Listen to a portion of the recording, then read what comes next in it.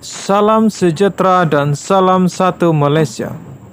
Selamat datang ke Info Viral yang akan mempamerkan perkembangan terkini artis di dalam Malaysia maupun di luar negara.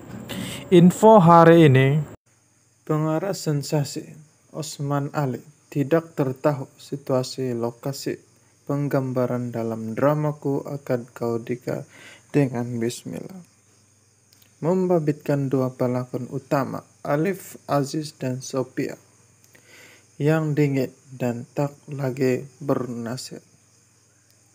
Ia berkuatkan sumber maklumat dua pelakon yang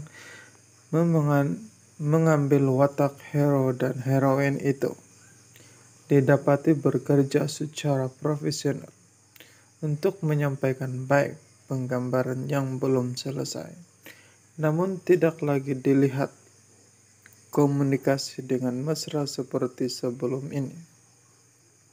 Saya tak tahu sebab beberapa sehari dan sekarang katanya kepada heroin Metro menerusi kiriman WhatsApp. Ditanya mengenai sambutan drama selepas berlakunya. Kontroversi Osman berkata, ia difahamkan mendapat sambutan baik daripada penonton termasuk dalam media sosial. Setakat ini, sambutan baik respon maklum balas dalam media sosial pun alhamdulillah. Cuma saya belum dapat rating dari TV3. Mungkin ada penonton menyokong dan ada pula sebaliknya.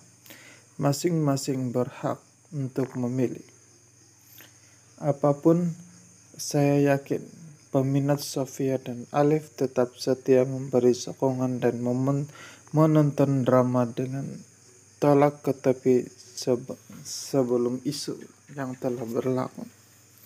Terdahulu, kontroversi membabitkan Alif dan Sofia tercatus hingga isu orang ketiga dalam rumah tangga Alif dan istrinya, Bella Astela yang tular dalam media sosial sebelum drama disiarkan di slot Aksi TV3 sejak 6 Februari lalu. Selain Alif dan Sophia, dramaku akan kau dika